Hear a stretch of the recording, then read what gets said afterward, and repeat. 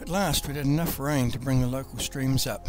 My old mate, the trout junkie, had convinced me to take a day off work as he was sure a fresh run of trout would be moving up the rivers. It was great to see only one car in the car park. So far so good.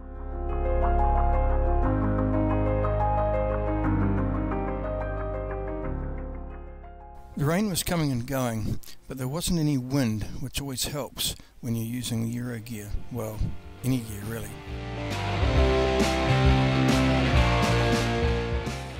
It was still pretty wet and miserable at times, but I doubted the trout would mind, and it wasn't long before I was into my first fish.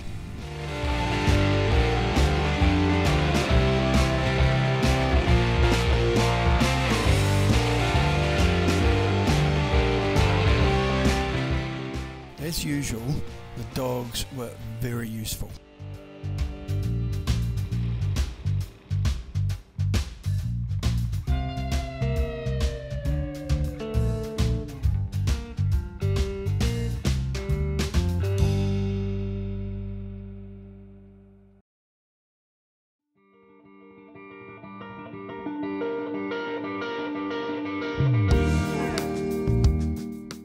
My plan wasn't to stay in one place too long, but to move around, checking out the lies to see where the fish like to sit, which will be helpful if there aren't so many around next time.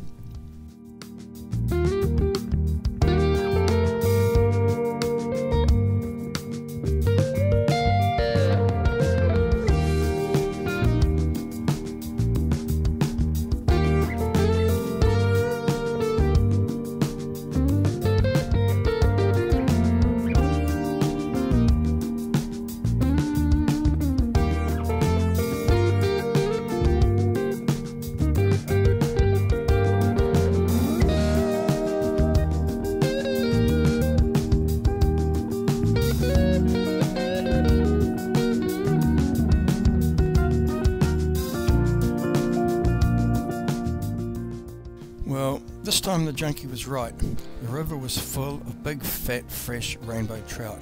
What a bugger that he had a guiding job and had to pull out.